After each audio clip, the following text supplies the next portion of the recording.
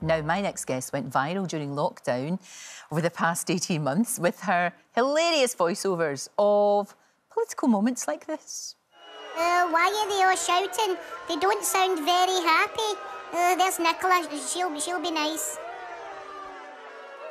Now that's what they call a good Scottish welcome, Boris. Listen to the Scottish people. They hate you, absolutely hate you. Listen, who's this guy? What's your name? Don't know you. In. Right, come on, Bodjaws. In, in. Put your arm down. It's my house. they hate you, man. Bodjaws, I love it. Well, Nicola Sturgeon sent Janey a message of support last week after she revealed on social media she's been diagnosed with ovarian cancer. She joins me now from her home in Glasgow. Janey, it's so lovely to see you. I was very, very sorry to hear the news because you knew something was wrong, but you weren't quite sure what it was. You just kind of, you were on tour, weren't you? So you just kept going. I I was on I was in London and I remember walking through Soho from the Leicester Square Theatre and the, the tour has sold out and I had this horrible pain in my stomach and I couldn't really eat because every time I went to eat I felt full and I was bloated. I looked about seven months pregnant. I kept on touching my tummy um, and weeing all the time, all the time.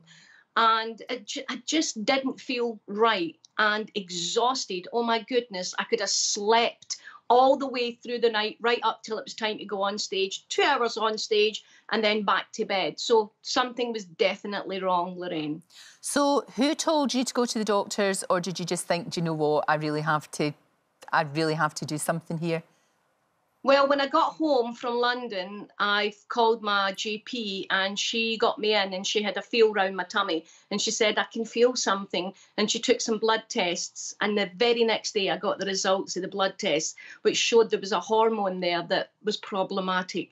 Mm. Um, and then I, the pain was pretty bad. And I went into the hospital that day. And as soon as I went into hospital, they done a um, a scan with a thing, and then they did a CAT scan, and they discovered um, a sort of sac there on my ovary, um, and they said, you know, this is ovarian cancer. Oh, and it, it, just happened all so quick. And and the worst of it all is we all have COVID as well. Mm. Bizarrely, I'm the healthiest in the house. I'm like an Alsatian dog called Laddie for Castlemilk. I'm absolutely fine.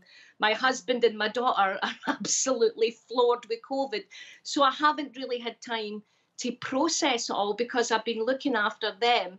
Um, and they've been really sick. So I've been worried sick about them more than I have about this, bizarrely. And I know you being you, you are trying to put the best possible spin on it. You do have a sense of humour about it. You're trying to make it easier for all the people around you. Yeah, I, I would like to. Yeah, it's one of those things you you you'd never prepare yourself for somebody saying, um, "We've discovered cancer." You, there is no preparation for that, so you just have to get on with what you're doing. And all, and I can't get the operation for seven weeks, um, because of the COVID. So I'm trying hard to mentally prepare myself, but also speak out about it.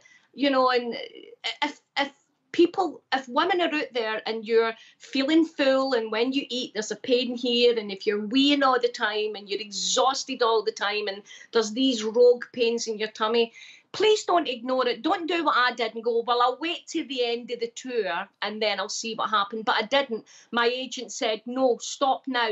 Stop now, get this scene to. And I did. And my instinct and his instinct were right. Uh, and I, I had to let an awful, awful lot of people down. But, you know, my health comes first. No, that's, of course it does. And you can always do the tour again. That's the thing. You know, once you get this operation and it, and it goes well, fingers crossed, everything's going to be all right.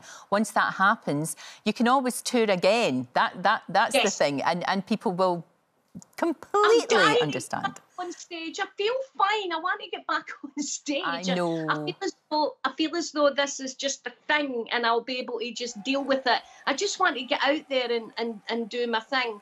But I'm also very aware that I have to I have to prepare myself because it is a big operation. You know, it, it's not keyhole surgery. It's it's the full it's the full Monty, so I have to prepare myself mentally and physically, and I'm taking all that advice as as we go. No, of course, and it's difficult because you. I know the family aren't well, but you've got to have these tough conversations, and that's hard. And I know you, so I know you'll try and and and, and make it light-hearted if that's possible, because that's the I way have. sometimes you deal with it. I have been doing that. I've been telling. I, I mean, straight away I got my will sorted and my power of attorney. I did that from the hospital. I phoned the lawyer and got all the paperwork in order.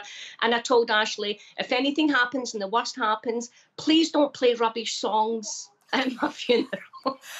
and she was laughing. So we've we've had a very honest, funny, and open conversation about this. And I think it's important I'm one of these people that faces things kind of head on. I try not to bury it away and go, let's not. And all my friends have been so supportive. You know, they've all been on the phone and we've all been chatting. But because I'm isolated, um, I've been getting food delivered. God bless you, Sebbies. God bless everybody who's been feeding me because we can't leave the house because of the COVID.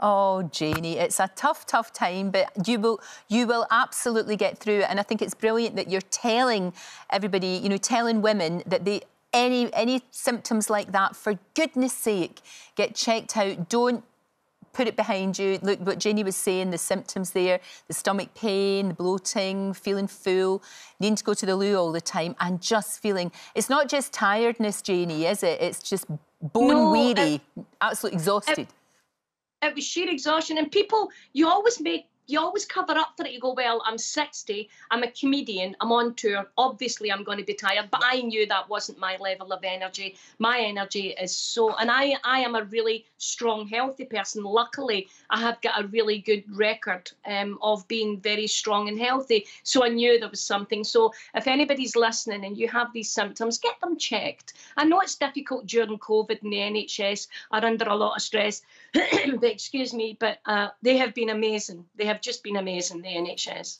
They have indeed. You take care of yourself. Thank you for coming in and talking about this and making sure that the, the word gets spread. Because um, yeah, it's a it's a tough one, ovarian cancer, to actually die, you know, to know the symptoms of it. So thank you for that message. Thank you. And stay well. It's good to see you. Good to see you. Right, if you're worried at all about ovarian cancer, helplines are available, of course they are, on the ITV website. Don't forget, you can watch full episodes of Lorraine on the ITV Hub and all the best clips, compilations and playlists right here on our channel. Just subscribe now and you'll never miss an upload. Click here to watch another video similar to this one or click here to head to our channel's homepage to explore all of our exciting videos.